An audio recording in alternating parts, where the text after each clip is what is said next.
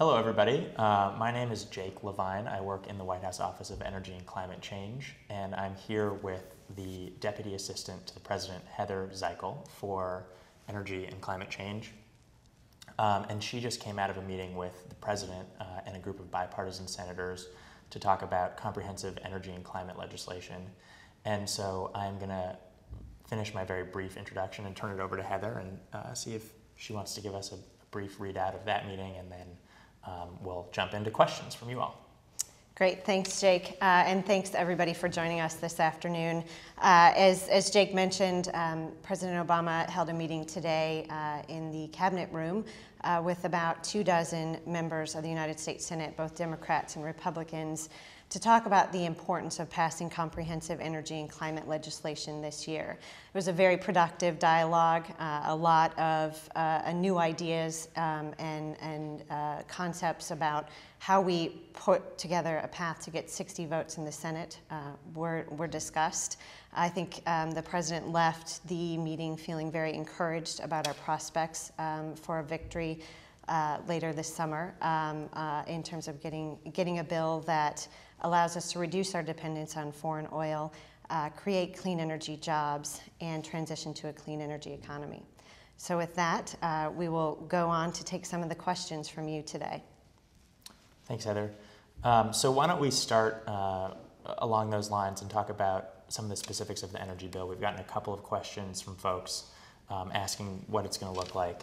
Um, Jeff Young uh, says, Ms. Zichal, can you please comment on the administration's level of commitment to including a cap on carbon emissions in energy legislation. Will the president insist that an energy bill put a price or cap on carbon, or will he allow an energy only approach? And then uh, Josh Nelson sort of had a similar question. He says, the president's statement today said he believes the best way to transition to a clean energy economy is to put a price on carbon. But during the healthcare debate, he used a very similar language to describe his preference for a public option. Will the president insist that energy legislation he signs this year include a price on carbon? Uh, great questions, both of them. Thank you, uh, both Jeff and Josh. Um, I think what the president reiterated today and, and has um, had a consistent position on is the fact that we need to place a price on carbon pollution. Polluters need to pay for their for their pollution. Um, he made it very clear that uh, you know this this price on carbon is important um, not only uh, for us to be able to build this transition to a clean energy economy, but it's also something that we have heard time and time again from industry uh, and from other supporters. They need the predictability, they need the certainty in the marketplace to be able to make the decisions that, uh, that, that, they need to make. Um, the, the, uh, obviously, the comprehensive approach that the president's been talking about, whether it was on the campaign trail or since he's been in office, uh, is, is something that he remains very committed to. Um, you know, the energy and climate are two sides of the same coin, and uh, both of those things need to go uh, together hand in hand. Um, at the same time, I think uh, exactly how you iron out those details, um, what, what, um, you know, what is, what, how robust is that energy portfolio. Um, we talked about things including a renewable electricity standard, more support for biofuels, uh, continued domestic oil and gas production. But then on the cap, I think uh, what was interesting about today's discussion was um, there, there are different ways that you might be able to achieve this objective. You know, some people have talked about economy-wide. There's also additional discussion about maybe just going after a stationary source only cap. Um, and, and again, uh, based on the discussion today, I think we feel good about uh, opportunities to come together and, and find some common ground to pass the legislation this year. Thanks. Um, maybe a follow-up to that question came in while you were um, while you were speaking. Luke O'Neill asked, "Why won't the administration push for carbon fees with rebates instead of cap and tax when we know carbon fees will be more effective and efficient?" Um, I, I, think what uh, the, the president has supported what has, has been something um, called a, a, a, cap and trade system, uh, similar to the, the, the, good work that, um, the, that uh, Chairman Waxman and other members in the House um, were able to produce um, in, with, with a comprehensive bill in, in, the, in, in, in the House last summer when that passed. Uh, we also um, have a number, as I, as I said earlier, of ideas about how to um, put that price on carbon pollution uh, in the Senate. I think um, many, many people have, have looked at different ways to do that, but what's important is making sure that we are protecting consumers in the process and making sure that we are protecting the manufacturing base. And we think that there are ways to do that um, through a comprehensive approach. Great, thanks. Um, there's a lot of traffic on sort of maybe just a, a, background question, which might be helpful to spend a brief amount of time on. Laura D. Simone asked, please define clean energy. Very good question. Um, I think, uh, you know, obviously there, there are um, uh, a, a, a, lot of probably differing opinions on this. I think the administration as a whole uh, thinks about, the, uh, about clean energy as something that uh, has a low carbon profile, low emissions profile, low pollution profile. Um, we have invested heavily in the administration in clean energy. I think the, the Recovery Act investments, uh, the largest investment in American history, um, uh, you know, helped funnel a lot of dollars to what we would deem clean energy investments. That's uh, money to um, you know, build more wind turbines uh, and solar panels, additional funding to build out smart grid technologies. And then the last piece of this um, is you know, it's not all about what you're doing to generate electricity, but also what you're doing to save electricity. I would also put in the clean energy bucket. Um, investments in energy efficiency, whether that's, you know, to make your homes and businesses more energy efficient, or, you know, we're spending a lot of money uh, and creating a lot of jobs to build batteries for the new, more efficient cars and trucks of the future. So again, I think that's another example of how our administration defines clean energy. Thanks, Heather. Um, you know, one, uh, there's been a fair amount of traffic uh, on the uh, oil spill in the Gulf, and I think that's something that's on a lot of people's minds. Um, Eric Holland asked uh, if we can cut our if we can cut our dependence on foreign oil, how can we make the transition more quickly from oil to renewable sources? Great question, uh, and and I think having uh, actually just returned from the Gulf yesterday, you know, the, the president spoke directly to this in his Oval Office address that what's happening now in the Gulf is certainly a reminder of our need to break our dependence on fossil fuels. And, and I think that theme again also came up in the bipartisan meeting with the senators. Uh, the administration as a whole has really um, aggressively pursued policies to reduce our dependence on oil.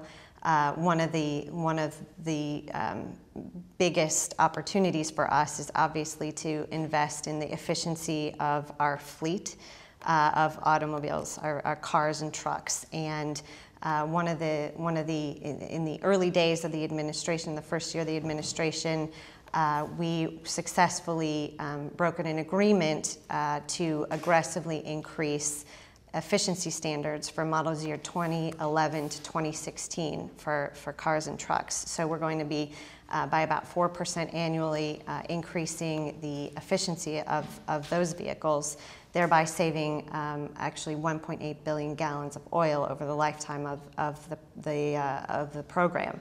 So it's a terrific example of what this administration is doing um, to cut our dependence on oil. Obviously, something that plays very closely into not only our environmental uh, goals, but also our national security and strategic goals. Great. Um, let's switch gears a little bit here and, and, maybe talk about some of the different sources uh, of energy um, that, that are on the table. Um, there have been a fair amount of questions about nuclear energy, and one sort of straightforward one comes from Adam Dorr. He asks, will nuclear energy, energy be part of the clean energy mix supported by this administration? Um, well, as uh, I, uh, to quote the, the president's science advisor, Dr. John Holdren, he has, he has a quote um, There are no silver bullet solutions for our nation's energy challenges, only silver buckshot. And I think what he means is that we have to invest in a number of different uh, energy technologies and energy sources in order to achieve uh, energy security, but also ultimately our climate objectives. And uh, the, the president um, feels strongly that nuclear power is part of what uh, constitutes a secure energy uh, portfolio. Um, we actually, the administration granted um, a, a, uh, a, tax credit for the um, development of a new facility. The first, um, we'll be breaking ground for the first nuclear facility in about 30 years. Uh, here domestically, and those are, um, you know, not only creating more carbon-free energy, but also uh, a lot of jobs in the process, which is uh, which is obviously front and center on the president's mind. Um, you know, some some questions have come in uh, about waste and what we're doing there, and I think what's important to flag is that. Uh, the administration has created and established a blue ribbon panel commission to look at back end uh, uh, waste issues and make some recommendations about how best to handle those both environmentally and from a proliferation perspective. Great. Um, another topic that's come up uh, quite a bit is geothermal. Mm-hmm. Um, Michael Bunting asked, why do we not pursue more geothermal energy resources? We have plenty of areas that this, that this would be applicable and could tie into the grid easily. Great question, Michael. Um, I think the, you know, again, getting back to the no silver bullet, obviously we are looking at a number of different energy sources, and geothermal is one of those. Um, but in order to do that, we need to create the right set of system, uh, the right set of incentives um, and and uh, and policies around that. Uh, one of the things um, that that has been so successful about the Recovery Act is a tax credit program um, so through the Recovery Act uh, investments, we are seeing more geothermal energy projects come online. Uh, the other thing, um, the other the other added bonus uh, of passing comprehensive energy and climate legislation is that um, you know, we would hope to include a renewable electricity standard, which says a certain amount of renewable en- energy comes from, uh, uh, or a certain percentage of energy comes from renewable sources by a date certain. And the more predictability uh, we can create through a renewable electricity standard, the better off we all will be, and and uh, will create a better um, a better push and pull for geothermal energy sources. And um, in, that same question, Michael sort of raised the question of the grid, and some other folks were talking about the smart grid um, and the nation's um, transmission um, uh, apparatus. And Michelle uh, Barone Berry asked, "We know our electrical grid is antiquated. Will this be the initial number one job creator for our country?" And then she says, to follow up on my first question, in reference to rebuilding our electrical grids and new job creation, what other sustainable jobs are in our future? Great questions. Um, I think I think the answer on the grid is is twofold. One is, as you point out, yes, it is an antiquated grid, and we need to make some significant upgrades. Uh, the good news is that the Recovery Act also included um, additional funding for smart grid technology. These technologies will allow us to um, use devices to um, allow and ensure consumers can save money at home. Uh, so a big, uh, a big win for, for consumers because you're saving dollars, but also an environmental win because you know, using less energy means uh, uh an, uh, a plus for the environment. Um, we have, uh, through these investments in the Recovery Act and, and in the grid, also seen a lot with job creation, which is incredibly important um, as well. And, and I think the last piece of this is just as, as, as I, the president has said before, um, building out the grid and and and uh, and bringing these new technologies online will ultimately be helpful because we need to be able to facilitate a situation where we have um, you know the, the the the windy vast windy areas of the plains. We're able to move you know when we put up wind turbines and generate and create the electricity we're able to move that into city uh, to cities in more populated areas. And we're going to need the transmission lines to be able to carry that renewable electricity. So obviously that's a big priority for the administration. Great, thanks. Um, uh, another issue that, that we work on a lot here is efficiency. And there have been a number of questions uh, on that front. Um, Jim Michael asked, uh, I would like to know why our government cannot get a program like Homestar passed that will create 300,000 jobs and create a new workforce in green technologies. And, uh, and Ron Boudreau asked, will there be more encouragement from the government financially to citizens to put more energy efficiency in the home? Uh, great, and those two questions do go very well together. Homestar program um, is something that has been a priority for the administration, uh, and luckily, uh, I'm happy to report that legislation is moving through Congress. Uh, it is something that has bipartisan support because I think you know folks recognize whether it's you're a Democrat or a Republican, investing in energy efficiency is something that uh, is good across the board. Um, when you're able to um, install more energy efficient windows in your home, there are the jobs that have been created. Uh, by the folks building the windows, but then you're also putting those um, those more energy efficient windows in your home, which saves you as the consumer money. Uh, so again, I think the Homestar program uh, is a win-win. The good news is that the legislation is moving through Congress, and we're going to continue to work with them to get this legislation to the president's desk. Great. Um, there have been some follow-up questions about the climate legislation, comprehensive energy um, bill, and they're sort of around cost. Eugene Wilson asked pretty simply, how much is cap and trade going to cost the taxpayers? Um, well, one of the um, one of the, the priorities for those folks working on, on the legislation, and, and obviously for the president, is that any um, any comprehensive energy and climate legislation that we pass needs to make sure that we're able to protect consumers um, from any any negative price impacts. And um, you know, EPA and the Energy Information Administration has done a lot of modeling and to look at different impacts of different legislative proposals. And in fact, the, the legislation that passed the House, we're talking about the cost of a postage, a postage stamp a day in 2020. Uh, so, um, you know, we, we have experience and, and have um, a, a, lot of, of, of um, opportunity to work to create the right set of incentives that will protect consumers as we're looking at um, putting this price and capping carbon pollution. Great, thanks. Um, you know, some folks are joining and they just have some questions uh, as well on, on um, what's going on down in the Gulf. Mm-hmm. And uh, one question regarding the workers um, helping to clean up, Betty Feynman said, How about putting these out of work oil rig workers to work in a massive clean energy initiative? Um, great question. I think there, the, the answer to that is twofold. One, as the president has made clear, we want to um, make sure that all those people impacted by the Gulf oil spill remain whole, and that's going to be a priority. Uh, you heard not long ago that the, the administration um, uh, announced a $20 billion escrow account uh, to help um, fund the claims um, process uh, and, and help anybody impacted um, by the spill, by the BP oil spill. Um, the second piece of this, obviously, is what are we going to do to um, look at long-term recovery efforts for the Gulf and, and job opportunities. And again, uh, you know, this is a priority for the president and something that he spoke to during his Oval Office address.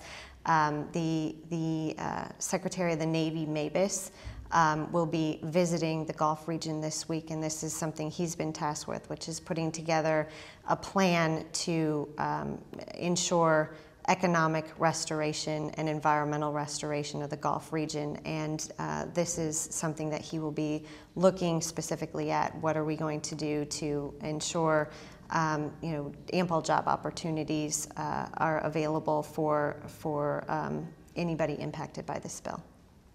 Great. Um, an interesting question, sort of on the financing side, from Michael McHugh. Um, just asked, can we set up a national investment bank to fund alternative energy, green technology, and so on that will stimulate the economy and create jobs?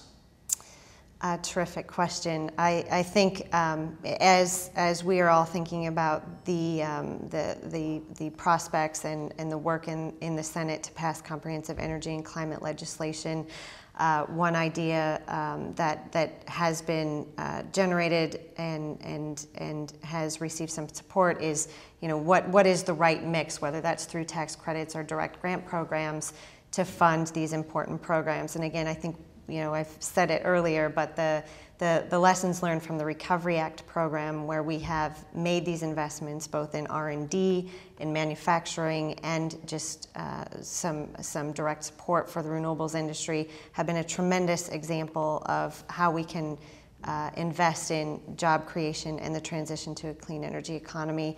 And those are certainly in line with um, what, what our goals for legislation would be. And then along the lines of, of, um, of increasing clean energy jobs, Laura Gilmore asked, how does the administration envision building a trained workforce to support this conversion to green energy? Well, one of the um, programs is actually administered through uh, the, the Department of Labor uh, that's been a tremendous success, which is to um, provide uh, provide grant programs, uh, grant dollars um, for, for workforce training uh, in, in green and clean energy technologies. So some of the things that we've been doing that with that are, you know, going to uh, community college centers and helping set up programs so that, you know, not only is it important to install the solar panels, but then, you know, people need to be able to uh, maintain them and um, uh, not only is it important to um, you know be able to purchase a, a hybrid vehicle car, but people need to be able to work on work on those vehicles and and understand the the, the battery technology. So um, across across the board, I think we see um, these investments in clean energy as opportunities to create jobs and uh, we are working through the Department of Labor on some specific programs to train the workforce of the future. Great. Well, I think that we might have time for just one more. Okay. Um, and uh, question from Connor Dolan. Uh, I'm sorry, from BJ Quinn on solar panels along those lines. Why have the solar panels not been reinstalled at the White House? Great question. Um, one of the things that the the that in, in obviously in addition to um, making these investments so that we can uh, bring uh, support for consumers and support for the industry, um, the federal government needs to be a leader in investing in clean energy technology. And uh, last year, the um, uh, through the great work of the White House Council of Environmental Quality, we were able to um, get a, a, to, to implement a sustainability executive order. So across the federal government, all of the agencies are looking at what actions they can take to invest in energy efficiency and clean energy technologies. Uh, and one of those things, obviously, is, is um, for the White House to look at what we can do to invest in efficiency and, and save, uh, save energy across the board. So, so those are all things that uh, the, the entire federal government is doing uh, because we want to be a leader in this area and uh, we should, um, we, have, we have a true opportunity uh, and we intend to take that chance. Thanks, Heather. Thank you.